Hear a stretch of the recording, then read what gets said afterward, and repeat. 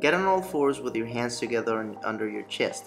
Position your index fingers and thumbs so they are touching and extend your arms so that your body is elevated and forms a straight line from your head to your feet. Lower your chest towards your hands, ensuring you don't flare your elbows out the sides and keeping your back flat.